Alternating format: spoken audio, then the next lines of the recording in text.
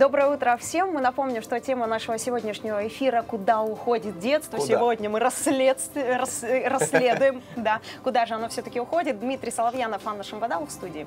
Так вот, детство проходит совершенно незаметно, но именно в детстве мы делаем один из э, главных выборов в жизни. Да. Определяемся с тем, э, кем мы станем в будущем.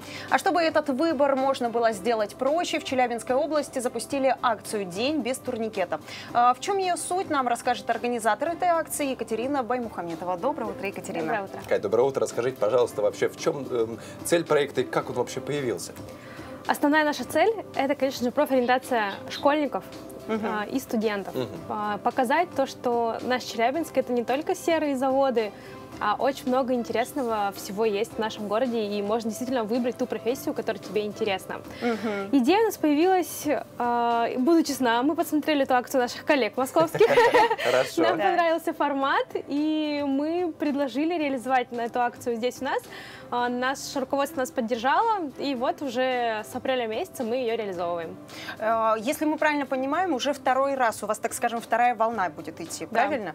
И что вы можете сказать, какие выводы сделали после первого запуска? Э, Сделали действительно кто-нибудь из школьников свой уже выбор? Кто-то уже определился или нет? Есть какую-то какую-то статистику вы ведете? А, да, естественно, акция очень понравилась, Мгм. потому что многие предприятия не принимали у себя раньше экскурсии для школьников, и многие не могли раньше попасть туда.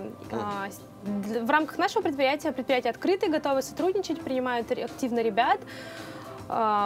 И за первую волну у нас прошло около трех тысяч людей а, в акции, и вот сейчас уже за месяц а, акции, который идет в этом семестре, у нас прошло около двух тысяч ребят. Так, мне кажется, сейчас стоит поговорить, Дима, о компаниях, да, которые принимают участие, и с кем вы еще планируете планы. сотрудничать? А, Более 30 предприятий с нами сотрудничают. Если в первую волну это были в основном промышленные производства, крупные предприятия, Мгм.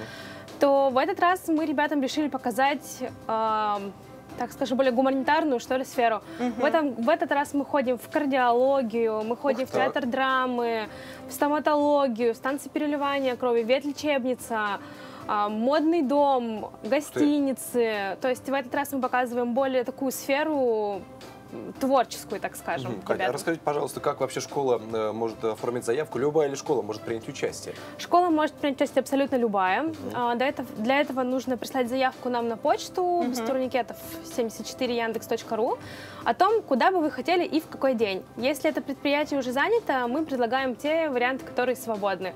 Также можно увидеть графики в нашей группе в соцсетях. А сейчас какая-то очередь, наверное, есть, да, за- за- на предприятии или нет На такого? самом деле очереди нет. А, Мы каждой школе стараемся подобрать а, то, то или иное Своё. предприятие, да, что интересно.